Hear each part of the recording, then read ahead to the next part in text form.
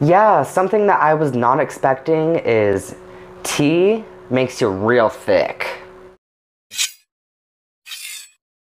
Oh, hey, what's up? I hope that you're having a good day and welcome back, of course. And if you're new to the channel, consider subscribing below if you want to find out new ways to kick your dysphoria to the curb and feel more confident in your mind and body.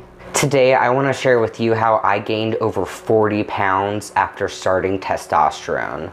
So I started testosterone a few months after I graduated high school, and around that time I was about 130. And like I said before, my highest weight has been 172.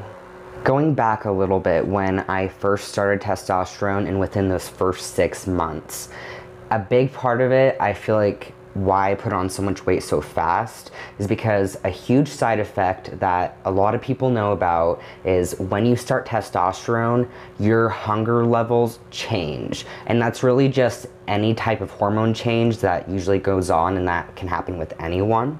Um, if they're taking different hormones or if there's just really an imbalance in general, it's gonna affect your like overall well-being. Going back to what I said before, you are going to get a lot more hungry once you start T, if you are going to. But for me, I got a fuck ton more hungry. I was so I was so hungry all the time. I and at that time I was in a relationship and I was like super comfortable. It was just like like I don't care. Like I'm just gonna eat this. It sounds good. I it, I don't care.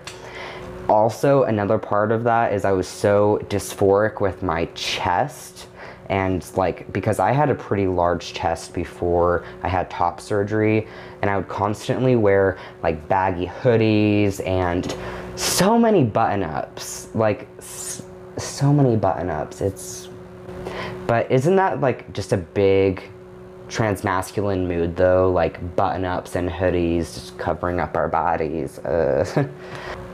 But after top surgery, I noticed like I got a lot more focused on my hip fat and my stomach fat, and I also got out of that relationship because it was a really unhealthy relationship.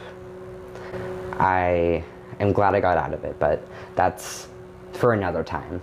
So after I got out of that relationship, which was really good, I wanted to look hot. Like I was kind of wanting to just get out there and feel like a sexy beast. And for some reason, to me, at that time, it felt like the only way I could feel sexy is lose weight. But I learned with time and nutrition, like I really just want to get stronger but at that moment, I was just like, I just want to look hot, please. so that was like where my focus started to go, and I got more educated on macros and that type of thing. I started to hyper focus on my weight, and it was just like all I could think about. Well, my weight and food. It just like all I could think about. So it was just not good at all. And I like it consumed my life for at least five months. It goes up and down and like it can be a day to day thing, but it's like a lot better now.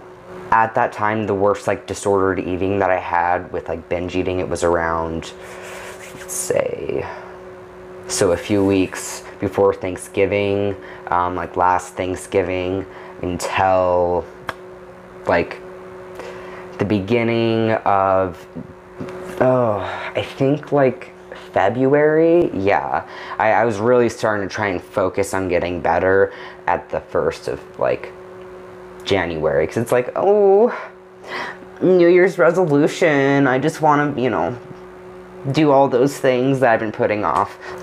Especially after like checking in at like 172, I was just like, ugh, I can't. I, I can't. I just, I feel like all the hip fat and like uh, just no thank you. You know, it is still like a lot easier today, like I was saying before. I've done a few different things that have helped me a lot more.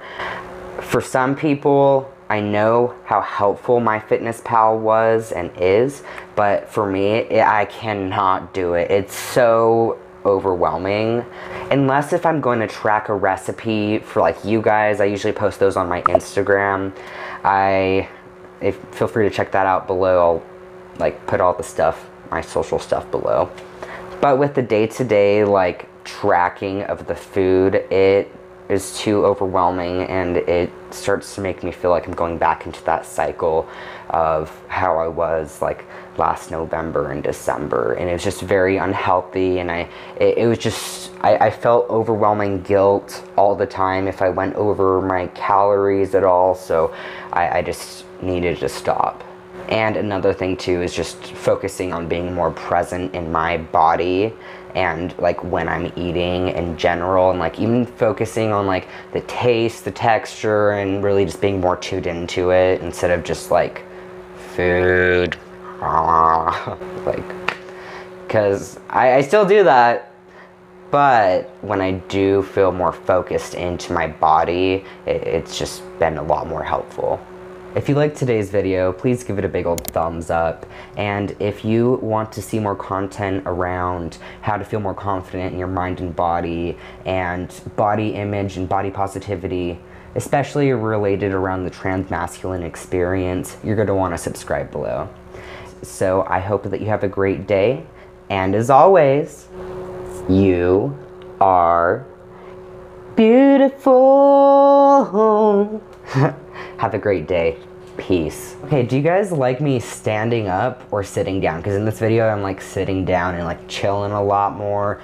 You can actually see my face easier because I don't got the best equipment right now, but as soon as I am able to work more towards this channel and of course monetize, all of that will be going towards funds towards getting better equipment.